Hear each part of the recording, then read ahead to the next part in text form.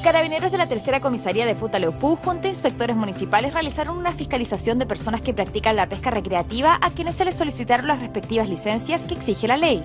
El mayor de Carabineros, Eduardo Esparza, explicó que esta acción es el inicio de muchas que se van a seguir realizando.